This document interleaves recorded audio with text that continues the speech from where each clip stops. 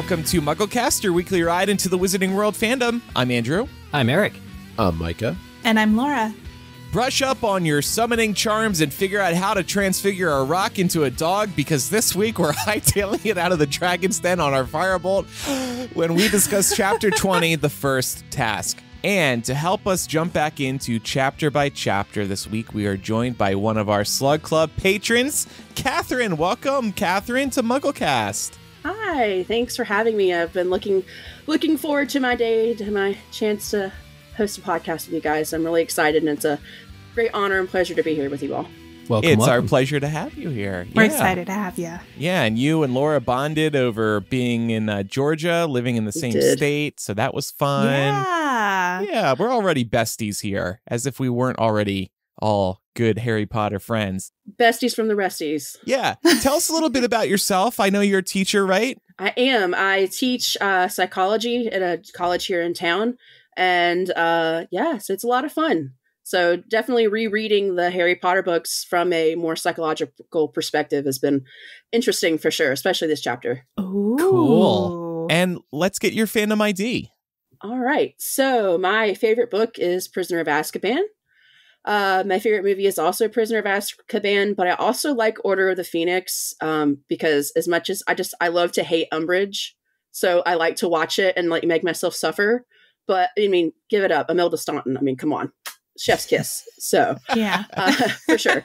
Um, she makes that movie. Um, Yeah. My Hogwarts house is Ravenclaw, um, but I also sprinkle a little bit of Gryffindor in there. Um, so because I usually when I take the test, it's either Ravenclaw or Gryffindor. So you know, kind of get to give it up to my what Ravendors or Yeah. um, Griffin Claws.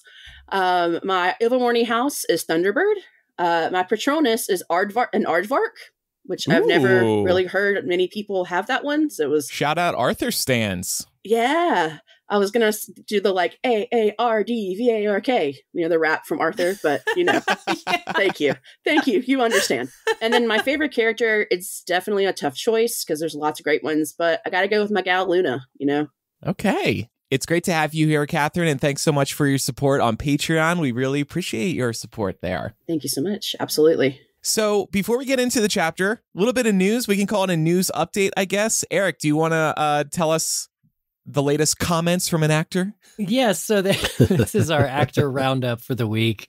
Um, because in a recent uh, article published on Bustle, um, Helena Bonham Carter was asked uh, her thoughts on the Miriam Margolyes situation. So, of course, we have commented, uh, it came up on the last two MuggleCast episodes that Miriam Margolyes recently had some words to say about adult Harry Potter fans. And I guess Bustle took an opportunity to speak with Helena Bonham Carter about her role as Bellatrix in the movies and also her thoughts on what Miriam had to say. And quote from the article from Helena Bonham Carter is I love that woman, and she's somebody who has a big inner child. I think, however old we are, we've got to keep that child alive. And so that to me speaks to like a very calming down of the let's let's not fan the flame. Let's be like, it's good to have an inner child. And she's speaking to us too, right? Like, yeah, yeah, you like can still have that because energy. Yeah. I think there was an implication that we needed to either grow up or that Harry Potter was for children. I think in in Mhm. Miriam's original sort of quote. So I actually found this news to be really uh, satisfying, and it might help uh, dull tensions a little bit. okay. All right. So, do we feel like anytime in the next couple of weeks, maybe month or two months, anytime a Harry Potter actor is interviewed, they're going to get asked a Mm. question about Miriam Margolyes? It's so Probably. Probably that's a good call out, Micah. And also, I think even Miriam Margolyes realized that it was kind of like biting the hand a little bit. Like she led in her comments by saying, I'm very grateful to Harry Potter for everything it's given me. So, uh, this is one of those things where I think the media is having a heyday and they're sensationalizing, you know, comments. And that's why we get this update of other actors being asked to comment on what Miriam Margolyes has said. Well, thank you, Helena, for standing with us. Yeah, and interestingly, that article does talk about uh, the character of Bellatrix, actually. And uh, it was interesting to see that Helena sort of admits that the character of Bellatrix that she played is different than what appears in the books. And she talks about how the Bellatrix character in the movies is a little bit more childish. Um, and I know we definitely got kind of that like babying, neener, neener, neener kind of personality that really is not a faithful adaptation of the character in the books, who's just insane, but I think it works. I still maintain that Helena Bonham Carter made Bellatrix's character better. Hmm. Because when we were rereading Order of the Phoenix and reading her character, I was like, oh my God, this character does not jump off the page in Yeah. the same way that Helena Bonham Carter jumped off the screen. Not at all. She totally improved Bellatrix.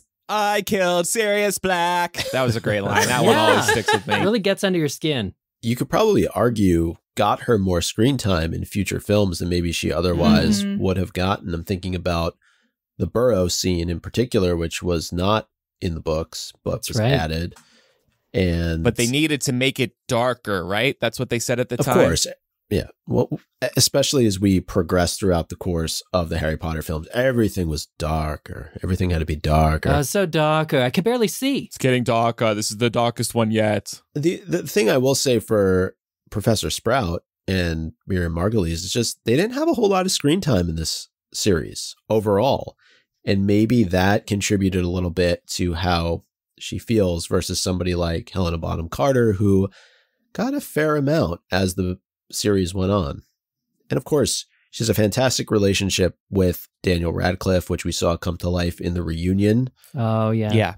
All right. Well, we'll uh see who comments on this next. My money's on one of the trio, probably. and I'm sure they'll have a nice uh, uh cordial answer that wins over fans. So now it's time to get into chapter by chapter, and this week we are discussing Goblet of Fire chapter 20, the first task. It's time for this tournament. And we'll start as always with our seven word summary. Here we go. dragons Are Afoot. Inside. hogwarts grounds. Ah! very good Yeah, I don't know how to end that otherwise. what happened to laura Yeah, where's I don't where's know. Laura Oh my God. I forgot. Wait, did I not do that right with five? I, I just put our names. Laura, feel okay. Laura, if you could change one word. Okay, no. What would Change it, yeah. Oh, Oh, that's fun. Change Laura, change yeah. it. I thought I was getting a break because I did Girls Mugglecast last Oh week. my God, that wasn't my That's true. intention at all. Trust me, I am aware. I was I was happy to sit back and watch y'all work the seven word summary. I have been stressing about this all day. like, what is going to Oh. happen? Oh my god. No, you did you did you did a great job. Honestly, I I think we we take the risky click and we leave it as is. Wow. Okay. And okay. we we see if this is one of the ones we end up correcting. Sometimes it's not. Sometimes funny ones like this really resonate with people. So Laura gets to do all seven words next week, so stay tuned, everybody, to make up for this.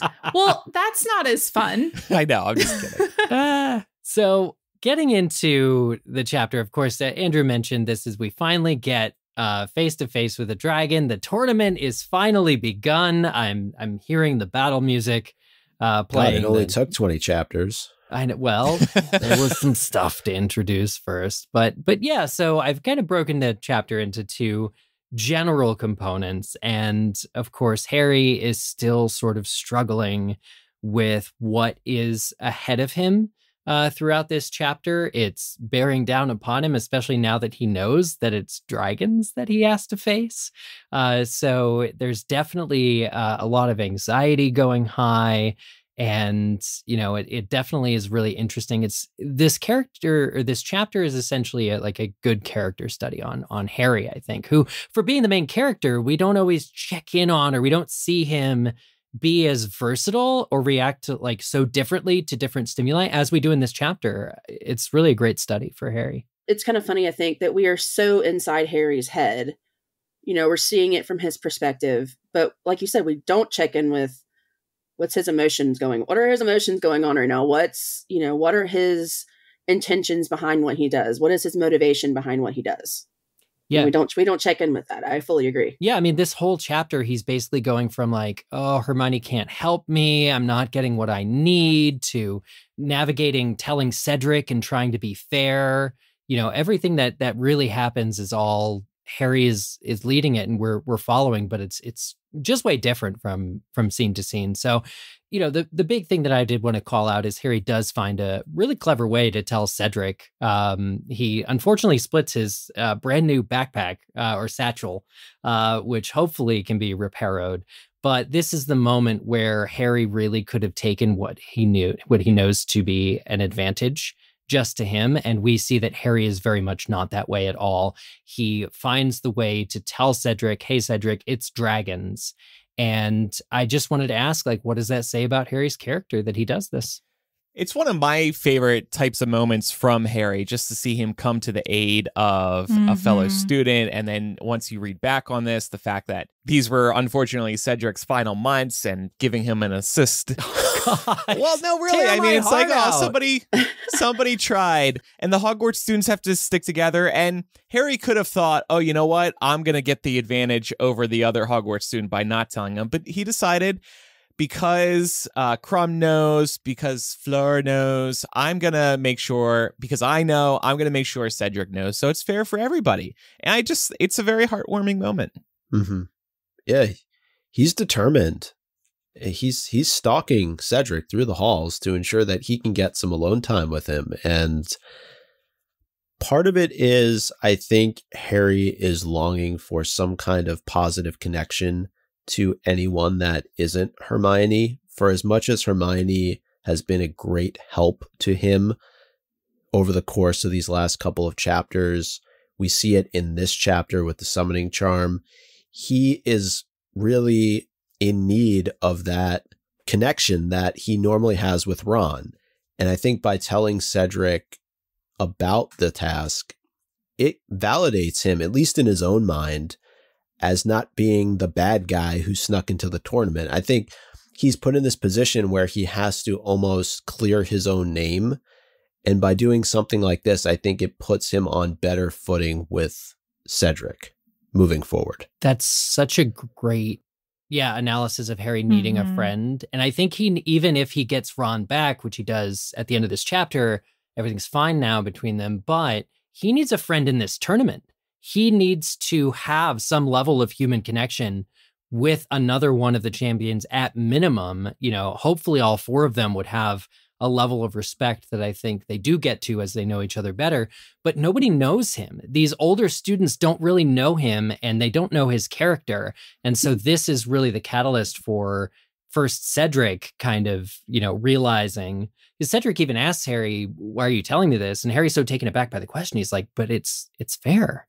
He doesn't even that's the It's the coolest right thing thing about Harry do. is he does the right thing and it's not difficult for him to do the right thing. This is just what Harry always would have done. It also says to Cedric, I didn't put my name in the cup because why would I put my name in the cup and want to win and then give information to you that could help you win? So maybe one reason why Harry wanted to tell Cedric was so that Cedric could maybe put the good word in if uh, Cedric is seeing Harry get bullied out and about around school. Hey, you know what, guys? I really don't Mhm. think he did put his name in the goblet. I think he's telling the truth. Yeah. We know that Cedric eventually tells the other like students, like his fellow Hufflepuffs, does not wear the Potter Stinks badges anymore. Once it Hmm. becomes clear to, and I think after the first task alone, when they're up against, they you know the whole school sees all of them up against dragons. I think more students than will ever say it out loud realize that Harry, yeah, it's they come to the same realization Ron does that it would be wildly absurd to think that Harry really chose this for himself. So both Harry's actions interpersonally and in general, I think, work to clear his name because he's just a good guy. Absolutely. I mean, that was my point. At the end of the day, Harry has a good heart. You know, we don't talk about that a lot, but he does. He has a good heart. I don't see him not sharing that information with Cedric. Like, he knew Cedric didn't have an informant. I mean, you know, Hagrid was Harry's informant. The other headmasters clearly, it's in some capacity, were the were the informants to their champions. Cedric doesn't have anybody, and like we said, he knew it wouldn't be a fair fight. You're sending three people in who have this prior knowledge, and that's not fair. and that's also not a true Gryffindor either. You know, a true Gryffindor is is, is you have that bravery, and isn't it brave to stand up and do the right thing? Harry's showing his true Gryffindor. Yeah, he's showing his true Gryffindor characteristics I was going to say, by sharing that information. is it brave to kneecap yourself and give yourself a I mean, disadvantage? sometimes. sometimes. Yeah. But I mean, I suppose we could argue that um, a Slytherin probably wouldn't do this, right? That Yeah. it wouldn't be super characteristic, at least in the way that Slytherins are portrayed Right. At this point in the wizarding world. Um, a Slytherin wouldn't do this. Maybe a Slytherin by 2024 standards would do it, but I I tend to agree with Catherine. I also think it just says that he doesn't want the unfair advantages or special treatment because people are always kind of trying to foist that upon him. And it makes him uncomfortable. He doesn't like it. He doesn't want the special attention. We see this theme throughout the series. Yeah. Later in this chapter, Bagman offers again, too. Mhm. And Harry's just like, no, no, thank you.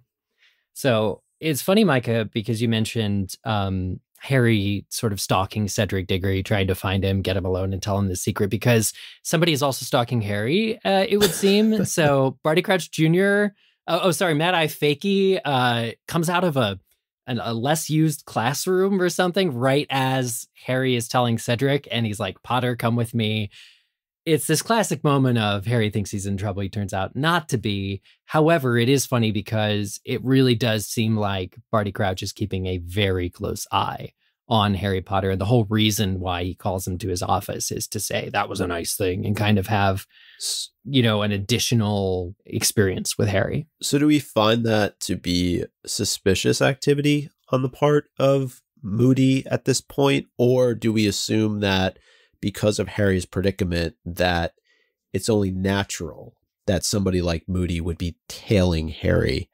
the genius is in the uh equal possibilities right it's like Mhm. e- especially yeah in hindsight it seems suspicious or it's like oh yeah moody is here at this scene because he's following harry and looking for a chance to i, I think again win his favor a little bit um you know and, and it's interesting we'll talk in a minute about how he goes about doing that but definitely you know in in the whole sort of stalking harry it just see the way it's written as a kid when you're first reading it you're like oh uh-oh a teacher just happened to see him cheating like and and the book says is he going to go to dumbledore like what's what's going to happen am i going to be expelled from hogwarts it almost asks like it's the classic uh-oh a teacher just witnessed what i did which might not be 100% above board so it gives you kind of that that like schoolroom drama that you otherwise wouldn't have Do y'all think that Dumbledore knows that Fakey is kind of tailing Harry? And has he endorsed this? Knowing that something is amiss. Somebody entered Harry's name in the Goblet of Fire. There was a Death Eater procession at the Quidditch World Cup. There's been all kinds of weird stuff going on, and they have one of the best aurors of all time at Hogwarts. Do we think that Dumbledore put Moody up to keeping an eye on Harry? I wouldn't be surprised. I'm Yeah. trying to remember the movie, and something is sticking out in my mind where Dumbledore asks Moody to keep an eye on Harry. I think it's after Barty Crouch Sr. is murdered. Mhm. I think you're right, Micah. And then, of course, the advantage uh, with Moody is that he can see through walls. It seems like because in, in this Mhm. scene, Moody's not like yeah, what a perv. he just doesn't happen to. Yeah, we don't talk about that though. In in in this scene, he's he's not like standing out in the hall and happens to witness this. He just kind of pops out after seeing it. So yeah, there's many advantages I think to enlisting Moody to keep an extra eye on Harry. ah keep an eye keep an eye on it What's when he says keep an eye on him Keep a mad eye on Harry. really literally Keep a mad yeah. eye on Well, Harry. I jumped to it? Dumbledore. Doesn't Dumbledore ask Snape keep an eye on Draco, uh, or keep an eye on Quirrell? That's what it is. Uh, he says to Snape, "Can you keep an eye on Quirrell? Would you?" And I can easily see that same conversation. Like nobody needs to tell Fakey to keep an eye on Harry. Believe me, he absolutely will. Um, but I can believe that Dumbledore thinks that he's solving the problem by asking Moody to take who he believes to be Alastor Moody, his old auror friend, to take a closer look. So I, I think it works on many levels, which again, for a book that was maybe rushed in printing, we've we've heard it be said before. Uh, there's a lot of really good kind of mystery and things that work on multiple levels. There's a lot of depth here. I want to talk about all of these dark detectors that he keeps in his office and they're buzzing worse than a beehive during mating season, but it's not drawing attention to anybody. And in particular, though, I wanted to talk about the Foe-Glass because Snape being revealed as his true enemy later on in this book really should have been a major clue to his allegiance. And we'll get there when we get to that chapter, but Moody is doing an introduction to all of these different detectors that are in his office and they're all going off right the yeah. sneakoscope is going mm-hmm. he said he had to deactivate it right if we remember from prisoner of azkaban we all know what the sneakoscope does uh, and there was another thing like a little radio that was doing weird things i forget mm-hmm. the mm-hmm. yeah actual name of it but he's blaming it on the students he yeah. said the oh, students they're lying are about fault. homework It- yeah it's, it's- the secrecy sensor. Yeah, well, that's another That's thing it. that works both ways. It works on so many levels. It's like the idea that any of these devices would help you discern where somebody's being tricky or sneaky when you have a school setting where people or kids will lie about whether they did their homework or not. Kids will lie. I mean, anything.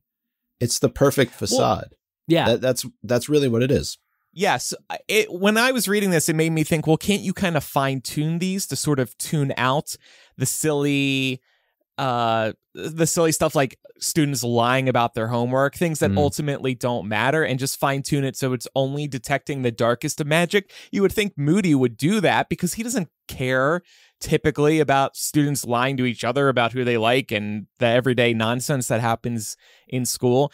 And he just, he's, Fakey is a thrill seeker.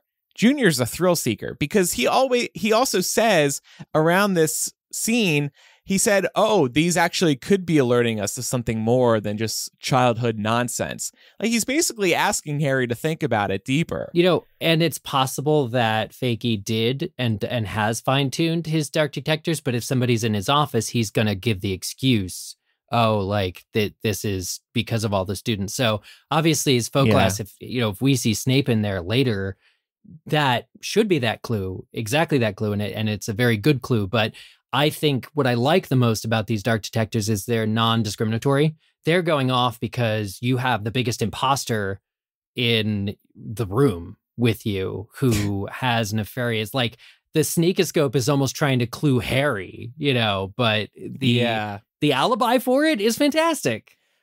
Why does he have these in there? Just to sell the moody image? yeah sell That's his it. persona i mean think back to the beginning Yeah, I'm paranoid all the time. Yes. Of the book with the trash cans and everything that happened when he was claiming that somebody was in his yard and th- he's he's uh, on edge all the time. That's that's who the real Moody is as a character, right? Yeah. I I like to believe that Barty Crouch didn't have to buy anything to decorate this office. He just like scooped up all the dark detectors that were like around Yeah. the perimeter of real Moody's house. Um, Because I think in the book it says like, oh, Harry had been in this office twice, and once there were pictures of Lockhart when Lockhart was in there. When Lupin was in there, it was stuff in tanks.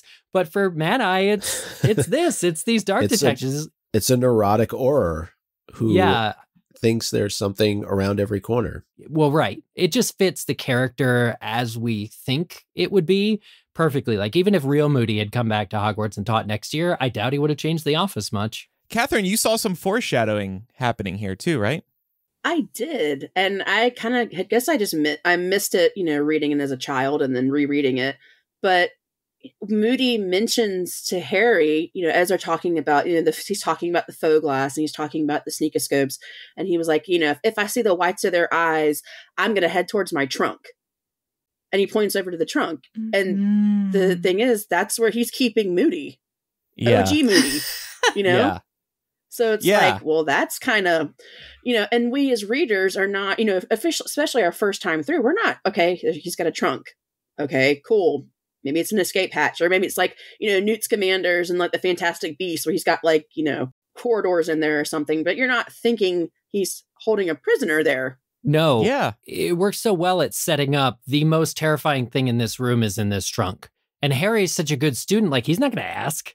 He's just be like, "Oh, I better stay away from that trunk in some case something comes out and bites me." Like it's so perfect at how it like, and also it it fits with what we know of Barty Crouch Jr.'s character that he's drawing attention to it because he thinks that he is brilliant, and it's, It's- just like when they were in the uh, trophy room, Yeah. and he says, "This is exactly how what somebody must have done to confund the Goblet of Mhm. Fire." It's exactly that, where he's like, "Oh, in this trunk, I would absolutely go straight to it." It's like, wow, you can get away That- with a lot. That's exactly what I was going to say. It's it's reminiscent of that conversation that he had in front of some very important people where he revealed exactly what he did and nobody picked up on it. But let's also remember Harry's 14 years old, so right? if you're a 14 year old in your teacher's office, you're you're going to be pretty careful, cautious around all of the things that they have there. You're not going to go poking in and see what they have in uh I You know, maybe you would Andrew. I well, can see no, you no, doing no. that. I mean, Justin's bringing up a good point in our Discord. I mean, we're talking about the same Harry who's gone into the Forbidden Forest, who's gone down and, you know, faced Fluffy and beaten Fluffy. Like, he's not afraid to poke around and see what's going on. No, but I think he's afraid of Moody. I do think there's something in him that is fearful of Moody, not necessarily in a bad way, but in a cautious way. Yeah. We'll talk more about that in a moment. I did want to bring up, though, I had to look up this quote because regarding his Foe-Glass, Moody says, I'm not really in trouble till I see the whites of their eyes. Something about the whites of their eyes rang a bell for me. So I did Google just that phrase, and it was something that was said to the Revolutionary War soldiers in uh, the Battle of Bunker Hill. General Putnam said to the American troops, Don't fire till you see the whites of their eyes, uh, meaning the British troops. And so it was truly the closest you could get. Also, muskets were very limited, um, but it was like the range that they had to get to for most success. And so I think that this is probably an intentional reference just in general about like wartime and it to me it just hits all the notes i find it to be a delicious phrase Yeah. Yeah, it's a good catch. MuggleCast 652, The Battle of Bunker Hill. Like, what? A history lesson? or the Okay. battle of stoatshead hill but i guess that's uh, when they attacked the burrow Also, just wanted to throw out this chest that Moody has has seven locks on it. Just I like Yes. catching those seven and twelve references. Yeah, I mean that seems like a lot, but also I guess that's paranoid Moody for you. He can't trust one, two, three, four, five, even six locks. It has to be seven. you're only as strong as the weakest lock True that. One lock for every Horcrux if you're thinking of making those.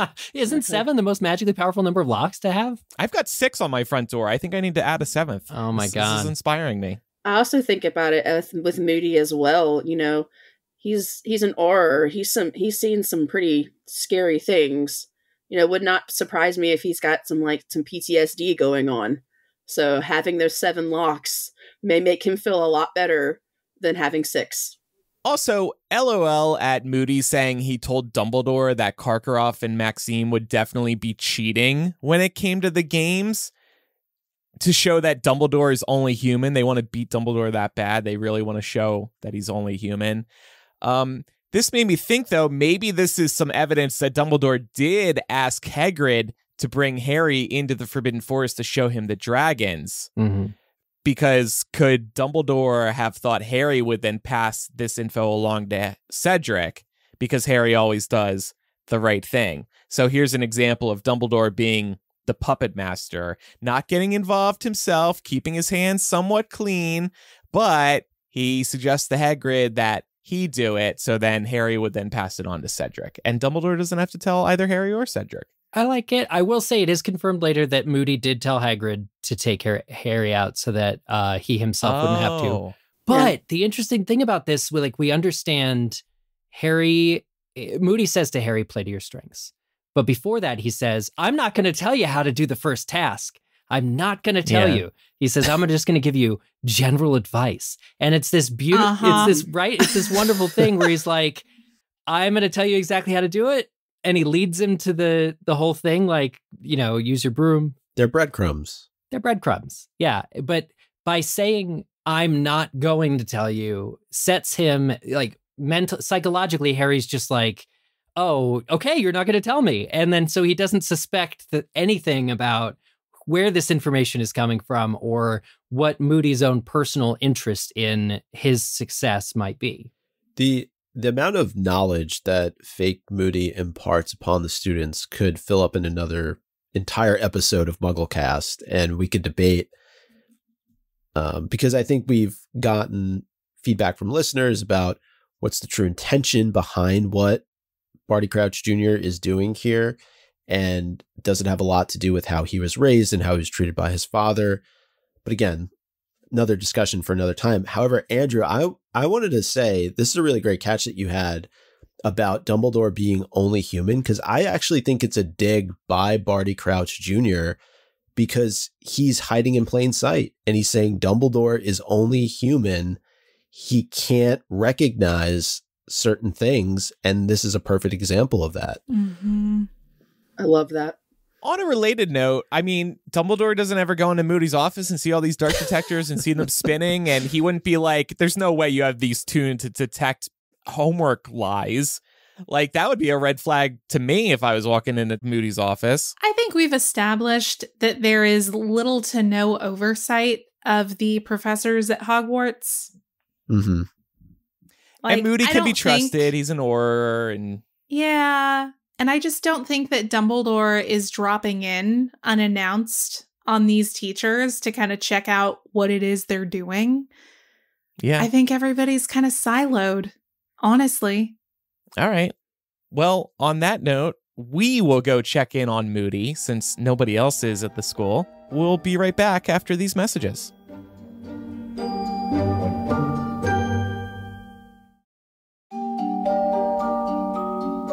So, returning to the chapter, going a little bit further along, Harry gets with best friend Hermione and says, You need to help me. She's exhausted. She's been helping him all week.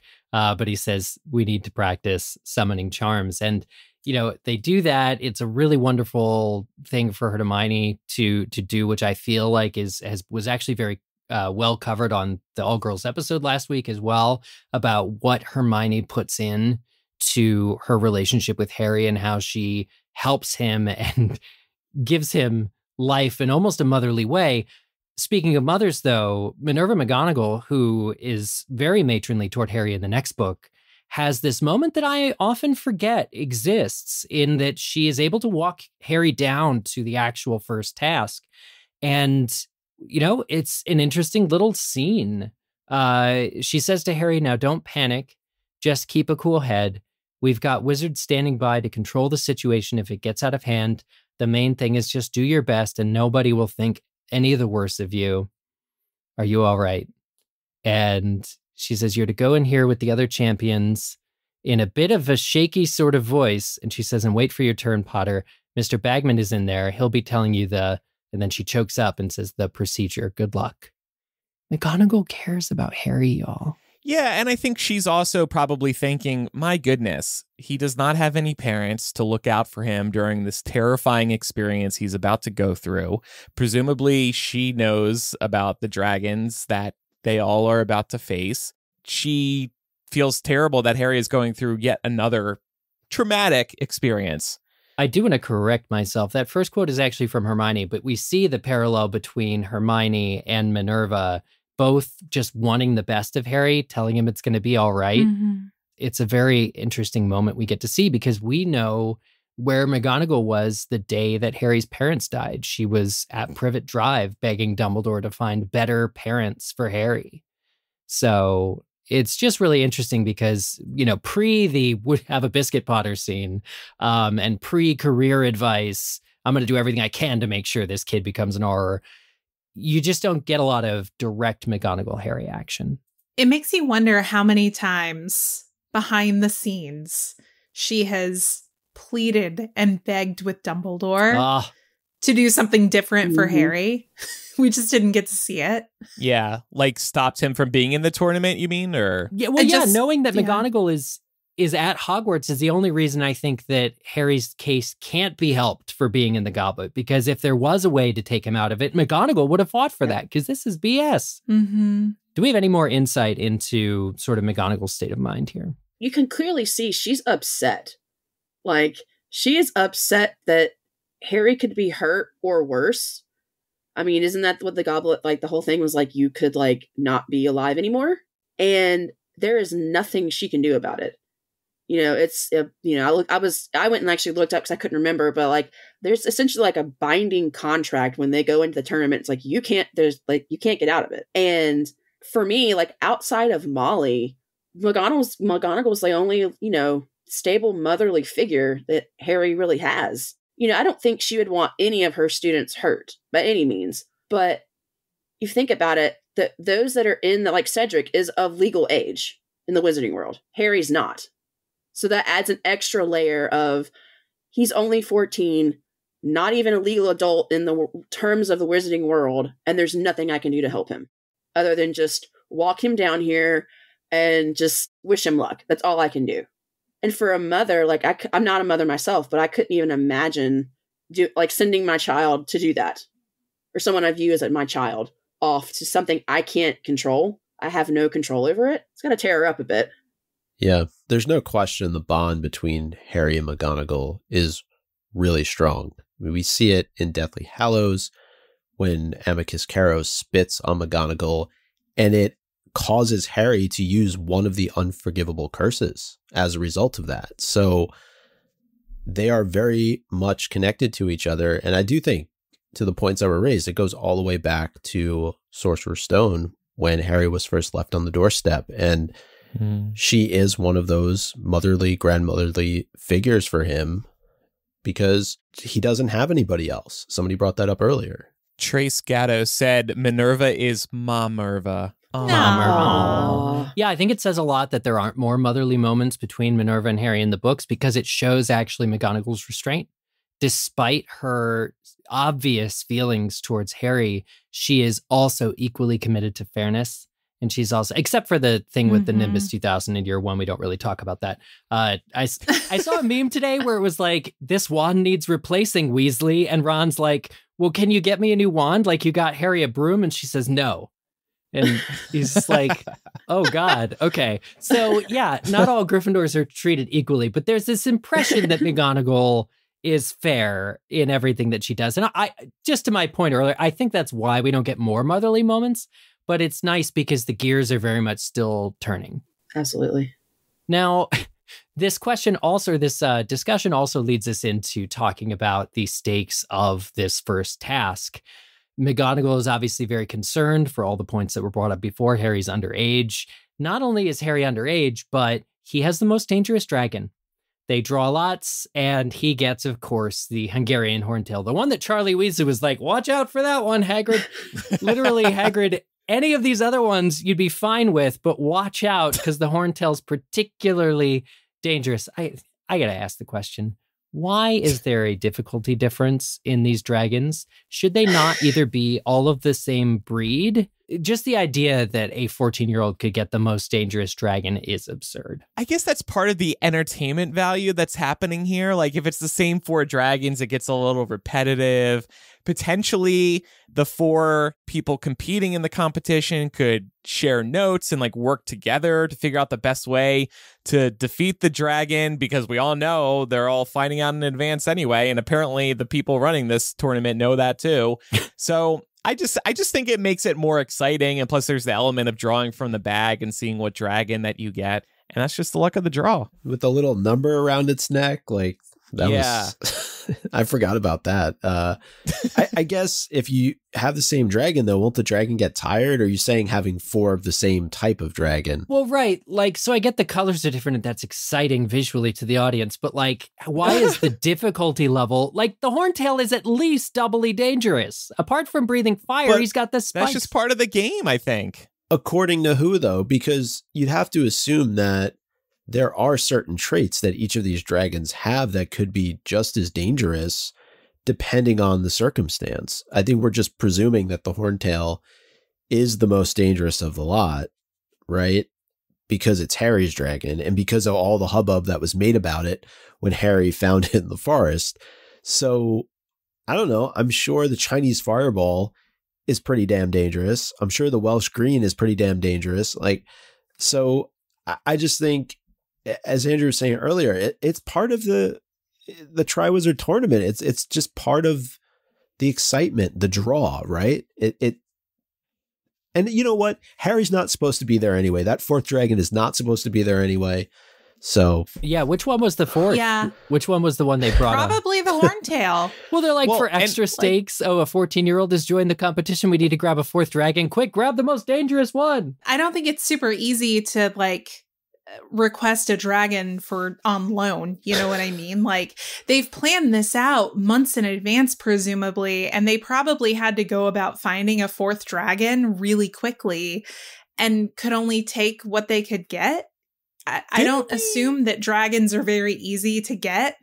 didn't we talk about them having a fourth dragon on standby in case like one of the dragons was feeling sick that day or something like that. That would have been interesting. Like it would make sense for them to have a backup dragon for any number of reasons. The dragon called out sick. yeah. No, I feel bad for all of these dragons, side note. Um, but also the dragons are on a reservation or the dragons are kept in captivity because otherwise it would be a breaking of the statute of secrecy. So they are kept in places like where Charlie Weasley works. Um, and so I do think that they wouldn't have had to like go wrangle one. Uh, they would have had to, you know, bring a fourth one probably last minute. And that to me makes the argument that one of them is significantly more challenging is like that maybe it's that the other three dragons, whoever they were, were more evenly matched. But then we get this horntail, like, which just, I'm sorry again, Micah, you can't convince me that the common Welsh green, so called, is as scary as even the Chinese fireball. You can't. All right, you go tickle a sleeping oh, common Welsh green and tell me how it goes. I think I'll you. survive more likely than if it were the horntail. But Catherine, you have solved this to within an inch of uh, our discussion here. I, I'm so happy with the solution that you've presented as far as points and the dragon's difficulty. Please share. Okay. So I'm like a huge video game player, and when you know how you have different levels of the difficulty, you've got, you know, easy, medium, master mode, whatever. And so I was like, if they wanted to have different dragons, shouldn't each dragon be worth so many like additional points to your score? Mm-hmm. So like again, like playing on a different level of di- like you know of a video game. So the horn tail being since there's four, you know that seems to, seeming the most dangerous dragon. So you would get four points added to your total score. Versus like the common Welsh green, maybe it's the you know in in the four that they have, it's the le- least difficult, so it'd be more like easy mode. So you get, but you get one additional point. Right. I it like made that. sense in my video game brain. Yeah, like, no, that makes total sense. No, that makes the, total sense. If you're not wanting to have it where we're all facing the same dragon, or it's you know whether it be the same dragon repeatedly, or there's four common Welsh greens or whatever. That was kind of my thought process. I love it. I was thinking similarly to Catherine, although I think Catherine's approach is a lot more efficient than mine. But I was almost thinking of the way that when you see a lot of different kinds of competitions happening, the judges will rate um, the competitors based on a number of categories like difficulty, creativity, um, technique and they get different individual scores for all of those. And the score that they ultimately give them is like a compo- composite score. Um, so i was like maybe they're doing that. But uh, then i got to the end of the chapter and i remembered oh no that's not what they're doing. That's not it. It's funny because we heard Karkaroff in a previous chapter talk about how many months of plannings when all these meetings that they had about how to do this tournament. And like he gives Harry a 4 and you can just tell that every single judge in this competition has no supervision. There are no rules. There is no repercussions. You can just do whatever you want and show blatant favoritism. I know it's skipping ahead a little bit, but like literally all this planning. And no, every judge is their own island. There is no like summing up of the total scores at all. It's a miracle anybody wins with all the other schools behaving the way Karkaroff might. Yeah. I did find it interesting that Bagman, uh, so after the dragons are pulled, like nobody's having a reaction like, oh my gosh, we're facing dragons. Wow, I'm so surprised. Like they don't even try to fake it. Now, sure, maybe they were like Yep. a little, you could argue they were stressed, but we also know that they knew going into this they'd be facing dragons. So I'm surprised Bagman didn't say like, "Oh, I'm surprised you guys aren't reacting or looking scared or something like that." I guess it just speaks to the fact that even Bagman and the people organizing this tournament know that the secret's been out and the secrets already get out. It just sat weird to me. Like everything's like normal. Like if I were Bagman, I'd be like, "Huh? So what do you guys think? Huh? Huh?" I've always thought Ludo Bagman was a little dense, in my opinion. So he was not he was not the most impressive of the uh, ministers of magic, in my opinion. But Okay. so okay. he it might have gone over his head that no one was having a reaction. There's definitely a reason why he wasn't adapted. His character wasn't adapted into the movies, I think, and it's it's maybe due to some of these similar flaws. hmm The movie Mm. adaptation, though, of this particular scene to to kind of answer that question, I thought was really well done because you did get that emotional reaction from the four champions as they were drawing the dragons out of the bag, and you had Barty Crouch Senior, Chinese Fireball, ooh, yeah. and Harry muttering under his breath, Hungarian Horntail, and Barty Crouch Senior reacting to that almost, you know, wait, what did you say, boy? You know, mm. and so it was much better done. Uh, you didn't need the the character of Ludo there. Um, it it kind of falls flat in comparison. Um, this moment in the in the actual book falls flat by comparison, I would say. Yeah. Um, you know, and speaking of Bagman, he says to Harry, here's a direct quote from the book, got a plan? Then he lowers his voice conspiratorially. He says, because I don't mind sharing a few pointers if you'd like them. Uh, you know, I mean, uh, you're the underdog here, Harry. Anything I can do to help. It's like, okay. I mean, yeah. we see what we see what Bagman gives Harry, but it's just cheating is rampant. That's literally all this is. That's why he's not Mhm. surprised anyone knows about the trades. It's literally what Moody says that he like Moody t- or Fakey tells Harry the other professors absolutely would have told their kids to cheat because that's just the history of this tournament, the proud tradition of this tournament. It seems right with Bagman offering to help Harry at the last minute. I th- and I think Harry rejected it because he wants things to stay fair, and for him to get some last minute info from Ludo would kind of make things unfair. Now that said, they've all been preparing in their own ways anyway, so I'm not sure what Ludo could have given him that would have definitely given him a a leg up. Um, so maybe it wouldn't have made things more unfair. Ludo's probably placing bets on it as well and trying to rig things in his favor. Yeah. He owes the goblins a lot of galleons. maybe Ludo I, I doubt it because Charlie was having a hard time controlling the dragons, but maybe he's got like some secret hack that automatically gets the dragon to move off the eggs. Like, you know, you press the fourth toe on the Yeah. left leg. And Yeah. the dragon flies away. You know, some secret button. Like the Whomping Willow. right, the Whopping Willow. I, I honestly love it. It is very Willow esque. I love that idea, Andrew, though, because it's like at this point, this late in the game, what advice would, you know, Bagman really have been able to give Harry, especially knowing Harry's got the most dangerous dragon? Sorry, Mike, I'm going to keep saying that. It's the most dangerous dragon. And I just think, what could he possibly told Harry? It's not like Harry can go off and learn the summoning charm if he hadn't already prepared for a day and a half straight of spellcasting. No advice Bagman gives Harry would be uh, implementable. to go back to the comment that was made about betting by Laura, I think there's actually a comment that Bagman makes while he's commentating. Was it about covering the spread? There's something at the very end of the tournament that he says, or the first task at, that he says, that would lead you to believe that he's very much playing the odds on his own. I have to look it up. Uh, but the one thing I did want to bring up is pulling Harry aside trying to give him this advice, trying to give him this edge, does it raise any suspicions on our end? Like, does it move him up the suspect board a little bit about dropping his name in the goblet of fire? Because why else would you want to help Harry?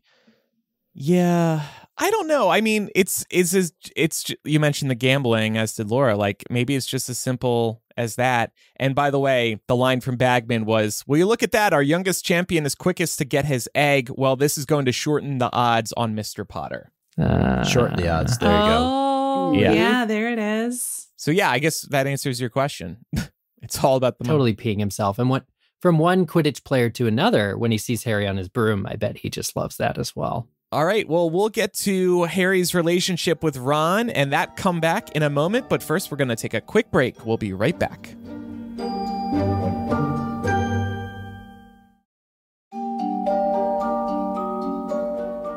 So, coming back off of that lovely ad break, we have another return, and it is uh, Ron coming back to Harry. And it's a beautiful scene where I think we could have gotten a little bit more out of it, but Harry has really been wanting um, to have Ron back. And there's this moment earlier in the chapter in Divination where his and Ron's eyes meet for the first time in several weeks and you know they still can't look at each other they still can't talk to each other but finally after harry succeeds in what i think is the most phenomenal showing of the first task um, ron comes in and actually apologizes or he would apologize if harry doesn't say it's nothing and then he just totally lets it go Yeah, he, he was ready to jump on him. I would have absolutely seen or loved to have seen what Ron would have said, but I all he manages to get out is, you know, I think I think you'd have to be a nutter to to really put your name in. So that's kind of all that Harry needs to just be like, okay, we're friends.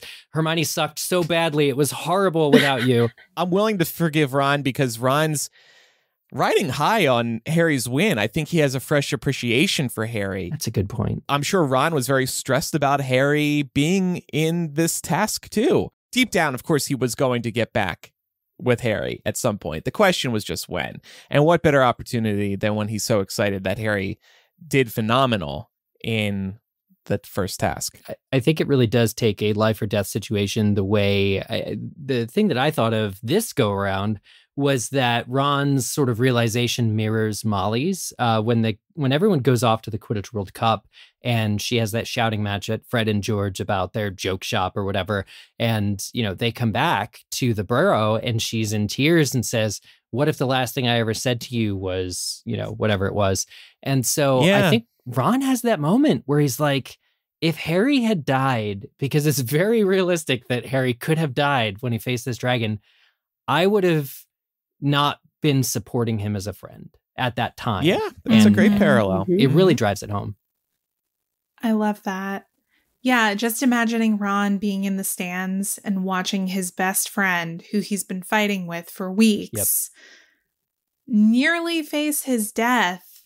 I mean, I, to be a fly in the stands, I guess we could say, to actually just see the evolution of Ron in those moments go from still being really pissed at Harry to all of a sudden seeing what he's actually up against Makes it real. and how jarring it Yeah. would be. Yeah, uh, that's something that I would also like to see in a TV show, more of like an introspective focus on that kind of thing. To add to that, like I love Ron as a character. I do. I think the movies do not do him justice sometimes. Um, but he's very stubborn, as we've seen. Mm-hmm. And we also know that he wants to be the best. Like no one ever was. Yeah. exactly. I mean, case in point, look at, I mean, harkening back to the first book, what does he see in the mirror of Erised? You know, I've got the Quidditch Cup and I'm the house boy and I'm a prefect. He wants to be the best. While I think he never, like, he loves Harry. We clearly see it throughout the book. He does. I mean, you don't put your you don't put yourself in situations if you don't love your friends. You know, especially dangerous situations. But we see his jealousy throughout the entire series every time you turn around, there's something he's mad at. I mean, and if you're, I mean, like to use one of my favorite phrases, the connecting the threads. I mean, think about to Deathly Hallows when he's got the locket. Why does he leave? Mhm. He's so jealous that Hermione's with Harry and you know everything. So I mean, that's amplifying his jealousy even more. That is like a common thread throughout these books. but I also agree. I think it does take seeing Harry compete in this task and realizing, oh no, I could have not had my best friend anymore for him to sh- to shake him out of that jealousy and come to his senses. Yeah, I, I think that dragon served up a big piece of humble pie to Ron. And Absolutely. Mhm. he's got some work to do. I'm not gonna lie. I'm not. I'm not back on the Ron train just yet. Uh, Oh, Some okay. Gotta win residual, Micah uh, over still. disappointment there. Yeah. It's just like, I love that you can, though, see it coming. Ron has been reminded, as Harry has, what makes their friendship special. I, I'm sure, like, Ro- Harry has been feeling that Hermione couldn't offer the same thing. And Ron, like, he catches Harry joking in divination about, glad I'm going to die quickly, Trelawney. And you see that almost smile, or Harry notices the almost smile. And it's like, Ron is being reminded, just as Harry is, that things are more fun when they're friends. And so it's really lovely that you have that divination scene leading up to the first task, and then kind of the payoff is here. And it's cool to be friends with Harry. Like maybe this reminded him Oh, of that as well. I think I was alluding to this a couple of weeks ago too. Like he should be I get that Ron's young, but so he doesn't really see the full picture, but he should be really lucky to have Harry, the chosen one, as his bestie. And when you're a, when you're friends with a celebrity, that's what's going to happen sometimes. Like they're going to be getting a lot of the spotlight, but you know that Harry's a good person, so just learn to roll with it. Yeah, I mean that's what happens when I hang out with Andrew and everybody comes over and wants pictures and autographs and you know it's it's annoying but somehow I cope. Yeah, you cope, and then I go and defeat a dragon, and you're like, "Oh, he's he's cool. I can I can roll with this." So Ron and Harry are besties now, and uh, Ron fills him in on what happens with other players. Yes, and and that's another great thing is Ron's delivering the play by play, and it's like great to see Ron engaged, but Harry wants to know like this is what they bond over constantly, sport and this kind of you know not gossip, but like it's just the perfect fit to have them back together. And I did want to ask because I gush about how Harry handled this whole situation is just wild. Um, but was there another sort of champion whose performance we also really liked. And here's a small recap of what everyone did. So Cedric Diggory transformed a rock into a Labrador dog to distract the dragon. It sort of worked, according to Ron, but halfway through the dragon changed its mind and Cedric got burned. Uh, Fleur Delacour managed to subdue her dragon somehow, but wasn't counting on its snores to also emit fire, so she got burned. Uh, and Viktor Krum hit the dragon in the eyes with a spell, kind of confusing it, but it went around in a rage and then crushed some of the eggs. Hmm. So all the champions got their their eggs, but none of them, including Harry, were unscathed. Which was your favorite, Catherine?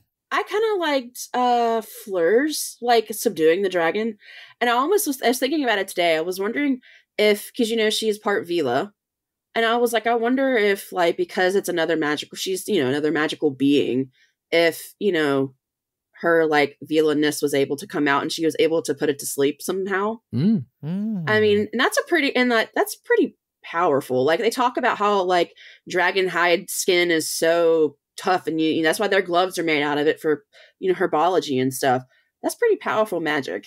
That's really Mhm. an interesting point. I would like to see that matched that personally, like to Mm. actually see Yeah. in she the said she said the thing.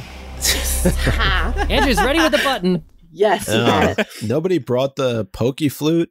Come on. I'm just saying. I was thinking Poké Flute earlier when you said like, what would Bagman do? Like he'd slip him like a Poké Flute and be like, here, put the dragon to sleep. But I mean, that would be, you know, I think it'd be cool to see if we do get our TV show to see all of these done because we, we Yeah. are only in Harry's head. It'd be nice to actually see more. So Yeah, I, I love what you said there, Catherine, about Fleur, because I think Ron says that she put the dragon in some kind of trance.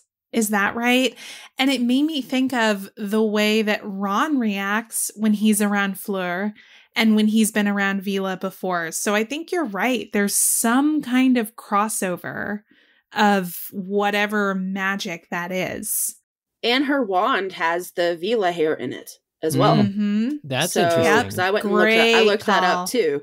I was like, doesn't it? Isn't like, and it's uh, like according to the wiki, it's her great her grandmother's hair. Yeah. So maybe there's like that extra connection on top of it. Not only is she Veela, but it's like per, like you know that lineage as well.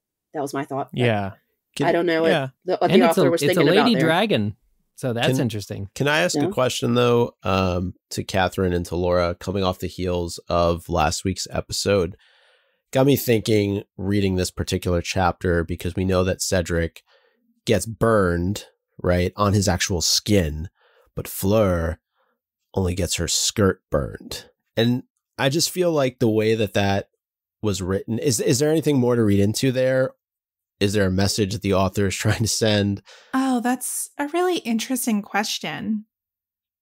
Maybe not. Maybe I'm thinking I like the question too. Yeah. No, I do like Yeah. the question. I'm trying to consider it. I guess Like Fleur's not My tough enough to have burns like Cedric or Krum. Like Yeah. Or it's, It's not gotta be her skirt. to yeah to wear like a flowy skirt to battle is like really like It's a bad decision. What was she thinking? Picking something with a skirt, like that type of thing.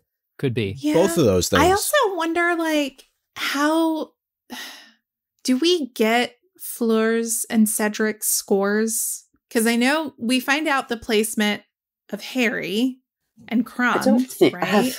I have my book. We can find out. I'm looking. Oh, you have the illustrated edition. oh yes. What I'm wondering is if if Fleur is in fourth place after this, I call BS because she didn't get her flesh burned and she actually had a pretty effective approach for dealing with this dragon. So, in my opinion, she should definitely not be dead last. And I'm wondering if we get an indication of where she ranks As far right as now. yeah, I don't know about right now, but standings wise, Yeah. we do get an update because Fleur has to sit out the second uh task. Mhm. Like she can't handle it psychologically, which that's probably saying something um about Fleur. But the uh explanation, uh, everything to do with points in this book is just leading up to the Harry and Cedric tie. Like from a plot standpoint, like I can't get too I can't get too deep into what does the scoring mean because I'm just like, you know, at the end it has to be Harry and Mhm. Cedric. Quick Rook is no. We do not get any scores Okay. Other than the fact that, which we'll get to in a minute, in our the thing about back about you know Karkaroff being unfair towards Harry. But no, Yeah. there was no score for Fleur. But I agree, Laura. Like, there's that's not you know she doesn't need to be dead last for that. Exactly, she didn't get a, a single burn at all. You know, she you know if we're going by that, Cedric should be last. He's the one that got kind of burned up more. Poor guy. God Mhm. bless him. God bless bless his heart. Bless him, he Bless his heart. tries. it is interesting to me that everybody had a different way of tackling this and also everybody kind of sort of hacked it. Like nobody fought the dragon except for maybe Krum because he shot this shot the spell at the dragon's eye. But everybody else like you know harry with the firebolt cedric with turning a rock into a dog and having the dog distract That's the most random one. yeah yeah it's it's hacky I like that though. I it's it's um trying to distract, right? It's it's a decoy. i want to fight though Yeah. fight fight fight But also that honestly, that's real life. Hacking it, Mhm. honestly, Fake it till you make the it. The older I get, Mhm. Hack it. the more situations I find myself in, it's like, what can you do to get the thing done efficiently and like mostly correctly? so you can get it over with as soon as possible. Yes. it, it would have blown my teenage mind when I was first reading this book to learn that adults don't have their ish together and aren't like ever there's a plan for everything and an escape plan. Like it would have blown my mind now being an adult, being mid 30s and being like, how much of it is just hacking it? yeah, most of it. Imagine the, the like all of these students were supposed to go into this task without prior knowledge of what they were about to face. So Yeah. they There's were no able to hone in on what it was they wanted to do to try and get the egg away from the dragon. Now, this might not be a popular the- uh, statement here, but I never liked the way that Harry got the egg from the dragon. I thought summoning his broom for a guy who just learned how to summon days ago, 24 hours ago, whatever it was, right. it's a cop out. And how far away is the firebolt? It's up in Gryffindor Tower. He's down in the forest. The distance, the magic that that would require, he was only summoning things from across a room, not from across an entire field all the way out in the school. But he was he was determined. He I was think Hermione was driving that home. You got to be determined. Yeah, okay. So how far away can you summon your vibrating broom, Andrew, right now if you wanted to? Let me try right now. Hold on. I got my MuggleCast wand right here, actually. Er, Andrew's on his broom right now. Joke's on you. It's it's only a few feet away. It, it won't be too difficult.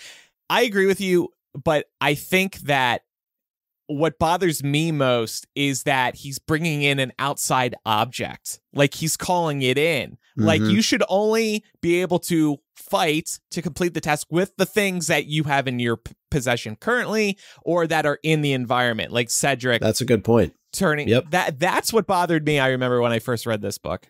Well, I think that the reason the broom is all the way up in the castle is for the suspense of did it work? Did it not work? Did it work? Did it not work? It makes it very exciting Mhm. because very reasonably Harry's firebolt could have been in Hagrid's broom closet. We know that the gamekeeper, we know that there's spare brooms and training brooms that are just in a cupboard on the grounds somewhere and the firebolt for all they know like this task could have been done on the Quidditch pitch with that broom closet right there and Harry's uh, remarkable summoning charm wouldn't have necessarily been that much cooler. Like it's just for a dramatic effect that the thing was all the way up there. So I, I don't know. I, I give Harry a lot of credit with this. I think that if all you're given is your wand, you do exactly what Moody says. You play to your strengths. It would have been the same if Harry learned transfiguration and transfigured a rock into a broom. Like Mhm. instead of a dog, like you know, it would have been the same thing of using what you have there. just- I think it still counts. It falls flat for me though because you also have two other participants in this tournament who are exceptional Quidditch players. So Mm. the whole idea of playing to your strength, Cedric doesn't do it, Krum doesn't do it, but Harry does it. And you can argue Harry's strength, I mean, he's a great Quidditch player, don't get me wrong, but defense against the dark arts is probably more of a practical strength than flying is for him. I Mhm. think the issue is though, again, the vector rushed. is It was all rushed. This is what happens when it's rushed. yeah, well, look, no, no, the, the vector is his age again because what Hermione says is they have never learned to transfigure anything alive yet at this point. By year seven, you absolutely would have done that at Hogwarts. But Harry just, Mhm. like, the summoning charm represents the maximum possible skill level of magic that Harry at his current age could possibly do and still do well enough that it's reliable. And that's why I like it. It's truly like Harry reaching up and touching like higher magic, like when he learns the Patronus charm. Like Harry is good at this stuff. I mean, would they even have learned Confundus by now? Probably So- not. Right, because I was thinking that you know you could like maybe that's what Fleur used to you know confuse the dragon or whatever. But I mean that's a higher level skill, and he's only. I mean again we have to think the age disparity between the three other champions and Harry. yeah. But I kind of do agree. that I thought the firebolt thing was kind of a cop out too. Oh, But I man. agree, freshness. I Thank know. you. Thank you. I mean, summon summon the egg. Why are you summoning your broom? Summon the egg. It would have been over in Oh, 10 that's seconds. a good point. Oh, yeah. Oh, oh, Yeah. see There must be a now, now I'm with you, Micah. Well, how are you going to get the dragon off the egg? there was that, Summoning it. but You can't summon a living thing. This isn't Fantastic Beasts and the Niffler. no, the, the egg's not living. but the egg's not living. Well, oh yeah, Accio egg. Well, you know what? It would Accio definitely golden smash. summon the dragon and get it off the egg, and then you go grab the egg. Just Yeah. move around. You say- move around a Oh, little wait, no, bit. that- Accio gold egg. Wait, since the egg is Under gold, dragon you could butt. you could just get a Niffler since the egg is golden There- and now you're thinking. wait five minutes. wait five minutes. Let a lif- Niffler loose. Wait five minutes, and then they'll bring it back to you. But then Wow. what if the Niffler gets hurt? The Niffler won't get hurt. Casualty But of that's war. when you do you say Accio Niffler or Accio, Accio Golden Egg, and the Niffler will have it in its pouch already. And certainly that wouldn't stop Cedric. I mean, he's sacrificing a dog here. Listen, And I'll circle back on this in a we were going to bring this up at some point in this episode, I'm sure, anyway. But how do we feel? Because I like the broom thing. I think it's an elegant solution. I don't think it's a cop out, but I also am very, probably alone in liking the adaptation to the movie where they chase each other around Hogwarts. I'm with you, Eric. I think you had to. In the movie, I think it you absolutely ha- I didn't like it, but I think you had to do it. Yeah. If, if you were the director, you had to do it because if you're just going to do what happens in the book, it's just not. It's not exciting. It's, It's not as visually pleasing. Yeah. Because I mean, I thought I, when I was reading this chapter, I was like, "That's all he did." I was like, "What happened?" I thought the drag like and the, and because I've not read the book for so long, I literally thought the movie was the movieism was right. I was like, "Doesn't Yeah. the dragon like chase him or do Yeah. something?" Right. I'm like, "Okay, yeah, it snaps. It, it snaps a little bit. Okay, Well, there's a level of deafness to what Harry has to do because the dragon is a mother that is going to guard its children. And so Harry is flying at a level that's neck and neck with the dragon. The dragon is predisposed to not go after him. And so Right. it's actually very, very skillful for Harry to have to rock back and forth and kind of get it out of its own comfort zone to make the dragon essentially forget that it's protecting its eggs to then dive. I just think Harry's a genius and this is extremely good for him. Anyway, Harry uh, does not have a friend in Karkaroff. Karkaroff gives him probably a higher score than you would, Micah, but Karkaroff gives him a four. I don't. I wouldn't take away points. I, I just think the way it was written was kind of a cop Yeah. out. So So yeah, the scoring system very unfair. I mean, there's just for Karkaroff to give him a four, for Karkaroff to be judging, Oh, well, there's that. yeah, mm-hmm. Yeah, like for any of these people to be judging, with the exception of Ludo, is is pretty nuts. none of them should be. None of the headmasters should be judging. And Mm. I honestly think the Goblet of Fire should be the one to determine the score. That would have taken away a lot of the bias that we see from all of these participants. That's interesting. Because like- Ludo is also giving scores based on what he's Yeah. betting on the side. Uh huh. Yeah. Yeah. Yeah. Oh yeah. Oh, this is all so messed up. You know, I I initially was like the sorting hat, Like, Micah. Really? Like, can't we come up with another object? But there has been this recurring theme in Goblet of Fire, chapter by chapter, thus far, where we're giving jobs to the sorting hat because he's so bored the rest of the year when he's not sorting. Like. By the end of the series, I hope we have a long list of tasks that the sorting hat no, can no, the handle throughout goblet. the I'm saying the goblet needs to do it. The goblet would've- caused all Oh, this it would've begin with. brought- Oh. Yeah. It would have brought the Goblet. but the sorting hat could too.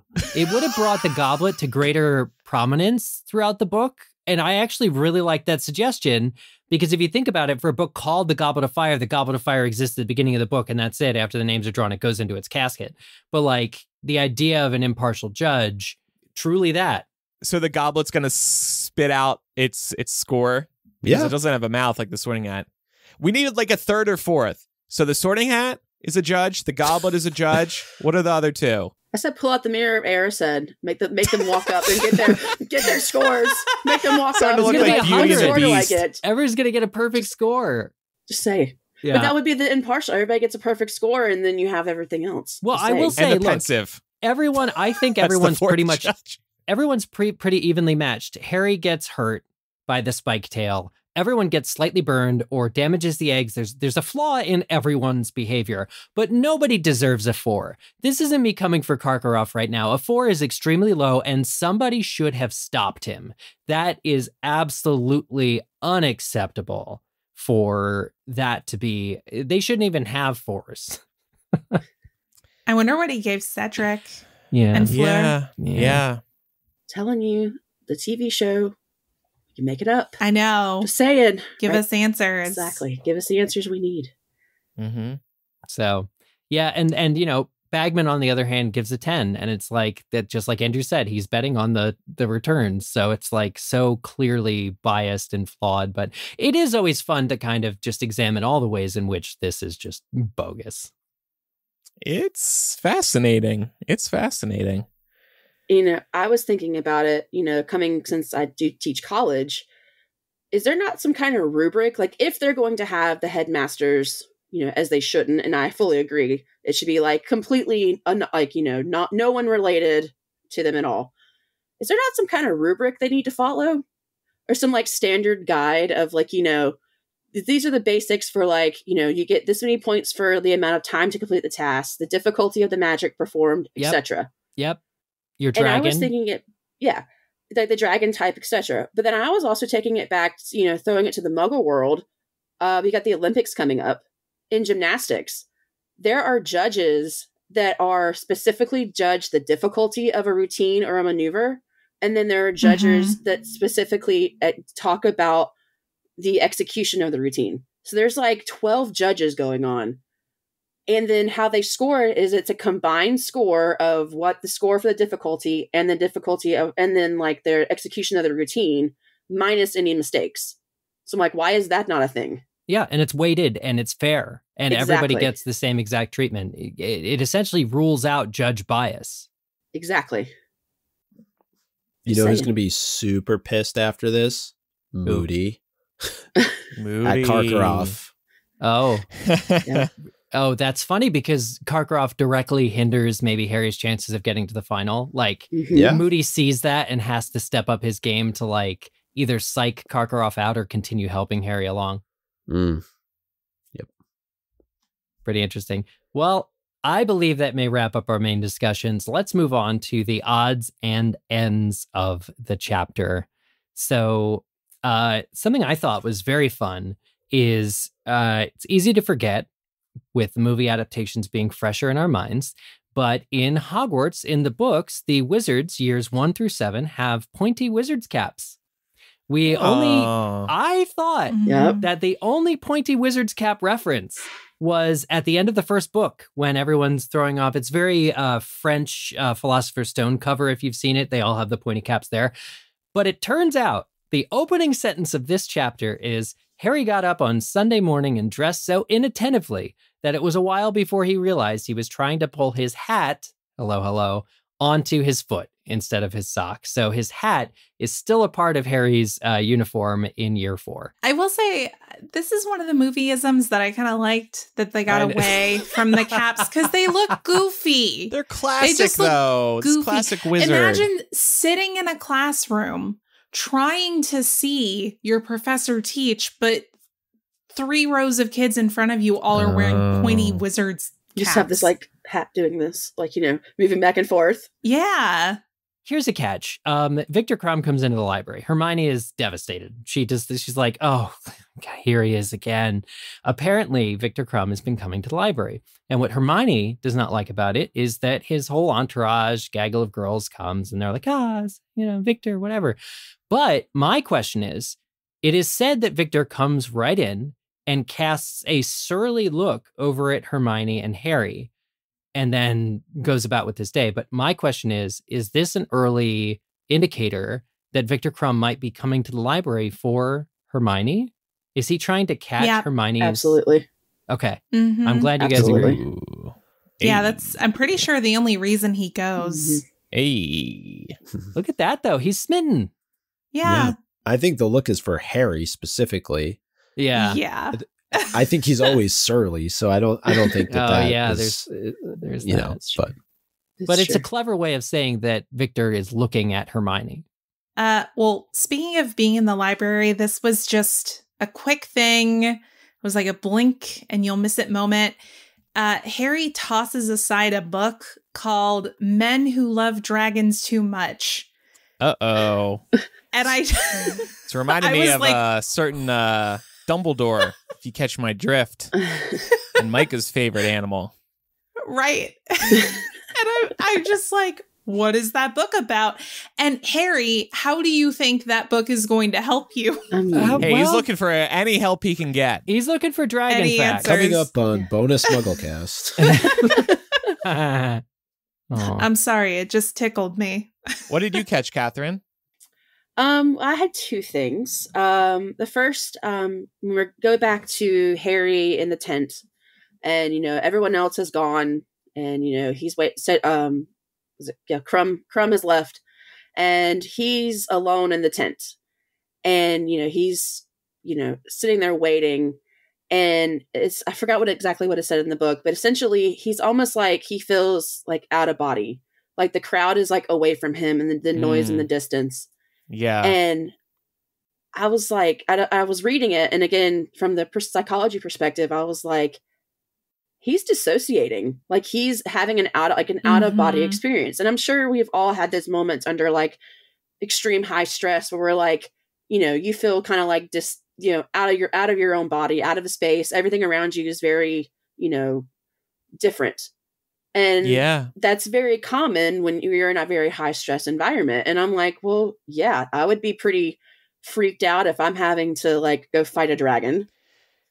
Yeah. So, you also was- experience this feeling when something shocking has happened. Exactly, Like out of yeah. the blue. A mm-hmm. hundred percent you know those high moments of stress or anxiety can make us you know kind of come out of our own selves for a minute fortunately Yeah. he snaps back in and he's like okay i gotta do this but Good catch. it's still you know it was a um i would not have caught that at reading it you know at, as a teenager but now as an adult not. and having that experience and having stressful moments experience it's like yeah i know exactly how that feels It's i a don't know how to fight relatable i don't know how it is to fight a dragon but i've had those moments of stress and anxiety You've been, you know, close to that type of situation, yeah. fighting a All dragon, fighting all the time fighting a, a fly, you know, scary stuff. Exactly. And then I also um caught another like dragon connection and interaction dragon connection. Um since you know book 4 is kind of smack dab in the middle of our 7. You know, in book 1 we're introduced to dragons through Norbert. And then the fourth book we have the first task is dragons and then in book 7 we escape on a dragon through from Gringotts. So oh, that's beautiful. Mm. I was uh and then also like uh connecting four and seven with flying with a dragon. So like Yep. Harry's on his Mhm. firebolt flying with a dragon, and then they escape flying on a dragon. yeah. So that was kind of my like connections. No, those are really great threads. Thanks. Good job. Thank you. Micah, you had an idea that kind of blew my mind. Yeah, so keeping in mind that we now know that Rita is an animagus, there's this line for when Harry's in divination. It says, he managed to make a fly zoom straight into his hand, though he wasn't entirely sure that that was owing to his prowess at summoning charms. Perhaps the fly was just stupid. And we all know Rita is a beetle, but it's probably very easy to misconstrue fly for beetle. And the way that J.K. Rowling chooses to write this moment just made me think that perhaps this was Rita, you know, saying, oh, well, perhaps the fly was just stupid. Well, no, the fly's not stupid. The fly's going right into Harry's hand. You can make, you know, what you want of that.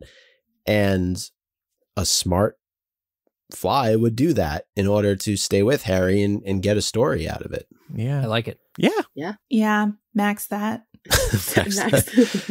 I just wanted to say plus one to Trelawney for predicting that people in July were going to be in great danger of sudden violent deaths. She's not exactly wrong here. Harry was in great danger of sudden a sudden violent death. Now, this also was an easy prediction to make, especially if she knew what the first task would entail. But I like seeing her make these predictions that end up being accurate.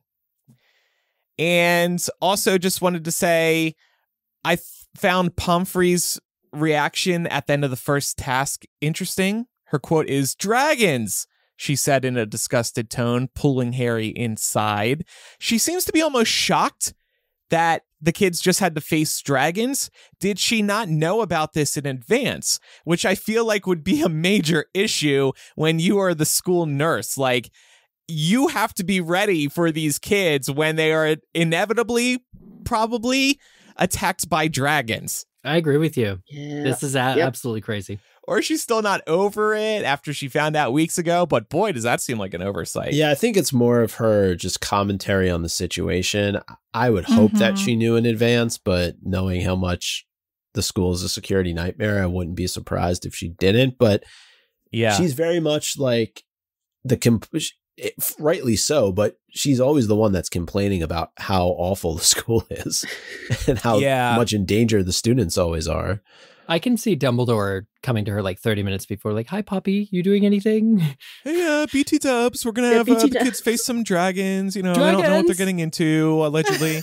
yeah, just the way she exclaimed dragons made me feel like you only say it that way if you just found out.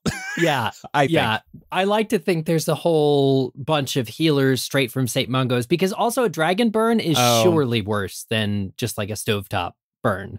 Like dragon fire, it has to be extra, extra bad. So, Well, not um, unless it's from a Hungarian horntail, right, Eric? right, from that's the other- double. yeah, that's From double the other bad. dragons, Doubly it's bad. just like, you know. Uh, Hungarian horntail Nothing. fire actually has spikes when it comes out. Oh, okay. Yeah. It's time for MVP of the week. I'm gonna flip things around for me this week. I'm awarding an un MVP of the week, maybe a worst valuable player, Cedric, Ooh. for sacrificing a rock turned dog in the name of winning the task. Come on, man. I don't care if that dog was just a rock. That's not cool. I am a fellow dog lover, but the dragon didn't go for the dog in the end, so the dog rock is fine. Yeah. I mean, the dragon could probably sense that it wasn't a dog. He was like, "That's a rock." It Oh. fooled the dragon for a minute. Maybe he should have tried that in the graveyard. Am I right, Andrew? Wow. wow. Ouch. All right, I'll give him my MVP uh, to Cedric. Just kidding. Uh, to Hermione for taking on the hopeless case of Harry Potter, uh, learning to do magic and helping him master summoning charms in just one day. It really can't have been easy, and he cannot possibly, as long as he lives, thank her enough for what she did. Yeah. And he doesn't. He So I do. Honestly. Instead, yeah. So yeah. Eric does. Uh, I'm Shout gonna out Hermione. give it, give it to the Firebolt. Uh, you know, traveling long distances across Hogwarts grounds to come and save Harry's ass in the first task. I like that. Nobody showed up bigger. Maybe with the exception of Hermione. I do like that, Eric. Uh, Yeah. But I'm going to give it to the Firebolt. Nobody showed up. Bigger. I'm gonna give it to Fakey because ultimately he's the one who helped Harry figure out what he even needed to do. yeah. So you know, allegiances aside, he did help uh, cousin Harry out. And um, I'm going to give it to Professor McGonagall. Um, even though while she was having all the feels about Harry potentially being hurt, she was still trying to keep him calm and in the zone. Well, listeners, if you have any feedback about today's discussion, you can email or send a voice memo recorded on your phone to mugglecast at gmail.com, or you can use our phone number, which is 19203-MUGGLE. That's 19203684453. We do have to say, though, we do prefer the voice memos, and if you could keep the message about a minute long, we would appreciate that so we can fit in as many voicemails as possible. And next week, we'll discuss Chapter 21 of Goblet of Fire, the House Elf Liberation Front. And now it's time for our weekly trivia game, Quizzitch. Last week's Quizzitch question What color are the Hungarian horntail's eyes? The correct answer is that they're yellow. And I'm hearing Moaning Myrtle's voice, those horrible yellow eyes. But uh, congratulations to all the folks that got that uh, correct. And these are some of the best Quizzitch names of all time. Are you guys ready? I'm so excited. Let's Let's They're- go. Amazing. Okay. Correct answers were submitted by a pretty pack of partly pink and purple polka dotted pygmy puffs playing piano. All snapes and sizes. Buff that's a Daddy. Clicking kudos for the girls episodes, leaving a comment. Aw. Flambéed Harry on a golden egg sandwich a la mode. Everyone wants second helpings. Hallow Wolf, Harry's greasiest problem, Hermione the mom friend. Hi to my Ravenclaw husband, Jen Pen 1013, Elsie, petition to stop using dragons for sporting purposes. Swagrids got drip. The egg crushed by Fleur's dragon, the last Peruvian viper tooth in Tibet, the one 11 year old who is obsessed with MuggleCast. Aw. Hmm. We all love Newt. Y'all should salute, put on your suits, and kiss his boots. And finally, Fun. the Swedish short snout that would like to tell Cedric, good job. Oh, wait, he's dead. Oh, ouch. There's a lot of Cedric hate on this show, I think. I Uh. hope it's been enough time. We had two weeks off of chapter by chapter, and let's be honest, that was just to give Kiera enough time to read ahead, right? So we not we didn't just spoil her right now. True. Okay, Mhm. great. Thank you for the fun names. Here is next week's Quizzitch question. It's another color question or similar. Ooh. What is the pattern of Dobby's tie when Harry first encounters him in the Hogwarts kitchens? What pattern is Dobby's tie? Dobby's back. Dobby's back. It's a spoiler, isn't it? It's kind of a well foreshadow. I mean, okay, it's we we we're gonna see Dobby. I'm excited to see Dobby. Business Dobby. He's got Business a tie. Dobby. Business Dobby. Dobby wears a tie to work. Business in the front, pillow in the back. submit your Quizzitch answers to us on the MuggleCast website, mugglecast.com slash Quizzitch, or click on Quizzitch from the main nav bar. Thanks so much for joining us today, Catherine. Absolutely. It was an absolute pleasure. I've had so much fun. Like I said, I've been an OG fan since, you know, 2005. So this is an absolute like dream to like meet you all and to hang out for the couple hours we hung out. So I appreciate it. Have me back on. Yeah. I'd love it. yeah, we'd love to have you back on. You were you contributed so much today and and thanks for your support over the years. This show is brought to you listeners by muggles like Catherine and you all. We don't have any fancy corporate or network funding. We're just Harry Potter fans trying to be your Harry Potter friends, and we're very proudly an independent podcast. So you can support us by going to patreon.com slash mugglecast, and you can have the chance to uh, be a co-host on Mugglecast one day, like Catherine was today. You get access to uh, our live streams, our planning docs, a new physical gift every year, and then the Mugglecast Collectors Club too. And then if you'd prefer to support us through Apple Podcasts, you can do that. You can get ad free early access to MuggleCast plus two bonus MuggleCast installments every month, as do patrons. All you have to do is sign up for MuggleCast Gold. Just tap into the show on Apple Podcasts, and you'll see the subscribe button. And whether you whether you subscribe through Patreon or Apple Podcasts, we do have a free trial as well as an annual subscription. And if you do the annual subscription, you will save a little money. And that's our way of thanking you for pledging for a year up front. Visit mugglecast.com for transcripts, social media links, our full episode archive, our favorite episodes, and a lot more about the show. And if you enjoy the show and think other muggles would too, tell a friend about the show. And we'd also appreciate if you left us a review in your favorite podcast app. All right, that does it for this week's episode. Thanks everybody for listening. I'm Andrew. I'm Eric. I'm Micah. I'm Laura. And I'm Catherine. Bye, everybody. Bye, Bye. y'all. Bye.